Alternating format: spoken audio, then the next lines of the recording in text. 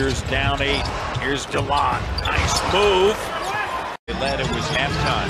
52-51. Lowry makes a move up at the rim. Slam dunk tied. 78-78.